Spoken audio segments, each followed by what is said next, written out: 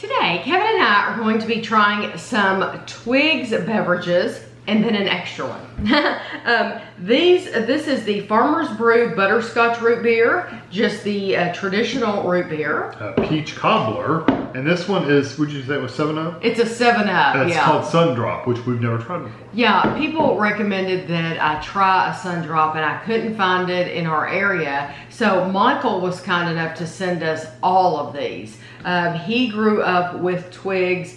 Uh, and I'll tell you about them. It says our history. In 1951, Floyd Hartwig, or Twig as he was known around town, started Twig's Beverage in Shawano, Wisconsin. With a humble beginning, Floyd would sell a case of soda and use the money to buy a loaf of bread for his wife and family. 60 years later, Twig's Beverage still remains a family business, valuing the traditions created from its modest origins. Staying true to its roots, Twig still makes its sodas in authentic glass bottles. Take a swig of Twigs. Visit us at www.twigsbeverage.net.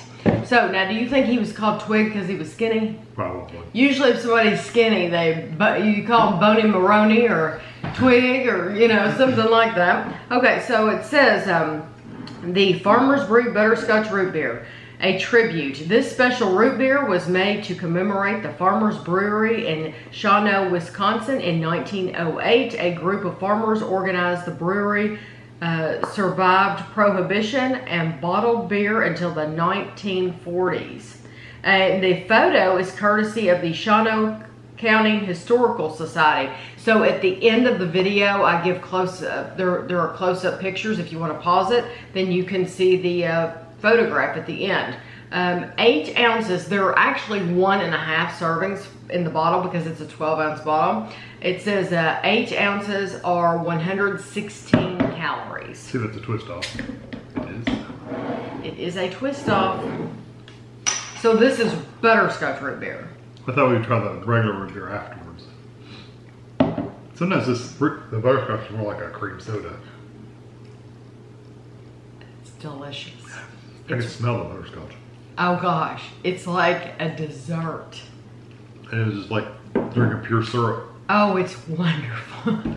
that is, That's very, very. I don't know how anybody could not like that. That Unless you just really didn't like Unless you don't like root syrupy, beer. sweet butterscotch either. yes. So uh, somebody had left a comment that where they're from. I think they were from Germany, is what I'm thinking.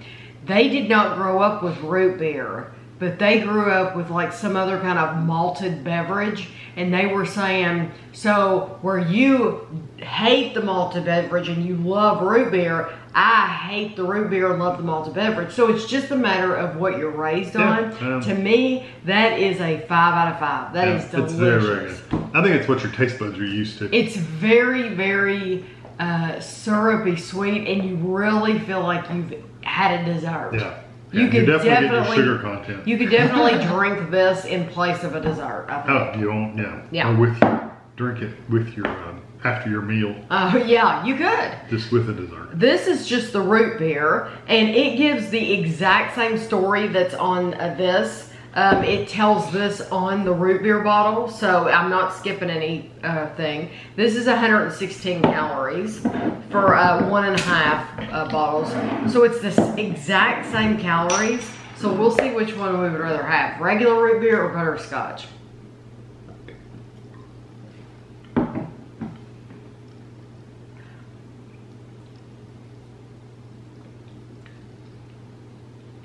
Flavor's not as strong. No. I like it if you are craving just a traditional root beer. Which I would probably pick that one honestly. Oh, huh. for the cal if the calories are exactly the same, I'm going for dessert. Yeah, but I love it. Just the traditional root beer flavor. I It's- It's very, very good. It's a good.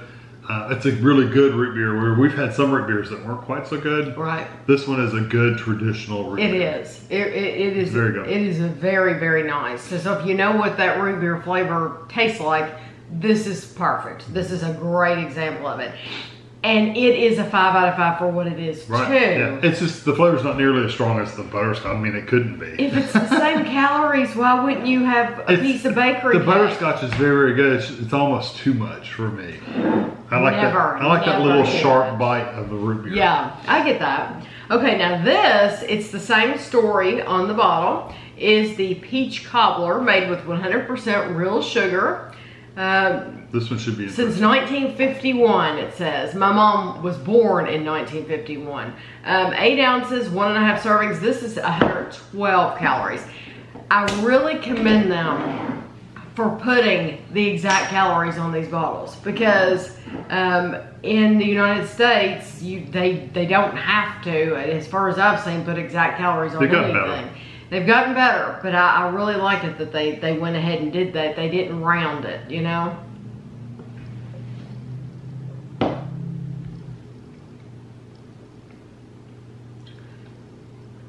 That It's very peachy. it yes, it's very nice, but it's it, it there's something different in that. It tastes like a creamed, like Mm. a like a peach cream or something. Yes, I guess creamy. that's what gives it the cobbler, the dessert filling. And when I think Um, of peach cobbler, though, it's usually peaches and some kind of really thick, heavy, like brown sugar kind of no syrupy kind of Okay. stuff. So that's what that kind of reminds me of. Although it does have a creamy, like an orange cream sickle, like an orange cream. It kind of reminds me of that a little bit too. So it's very good. It's, It- a, it's I don't really I like peaches, but I wouldn't go to them all the time. But that's really good. I would drink that. It does taste like it's in heavy syrup. Yeah. That's what it feels like. It tastes like peaches that have, have just been saturated in heavy syrup. It, it's delicious. Mm-hmm. I'm not a peach person either all the time. I've said it before, I like canned peaches and heavy syrup. So this is what, if I was gonna pick a peach drink, I would definitely choose this because it's, very excellent for, yeah, they did a good job with it. So I'm impressed with all of these. Mm-hmm. Yeah, you can't go Um, wrong with any of them. no, but my Pick- my favorite's gonna Pick your pick your poison and go with whichever one you want. know, my favorite's gonna be the dessert, but yours would be just beer. the root beer. Okay, now this is from a completely different company, and uh, Michael uh, wanted us to try this because people had recommended it. I don't know why we don't have it around here. Uh, Sun Drop citrus soda, uh, made with sugar, and I checked. Um, I checked. Uh, service stations. I checked Walmart, Kroger. I, I did look in those places and I did not see this. Um, so they might have sold it um, in a 12 pack or something like that. I didn't look, I looked for a single bottle like this and didn't see it. It is one bottle is 12 ounces and it is 170 calories and it is made by um, uh, Dr. Pepper and they are in Texas.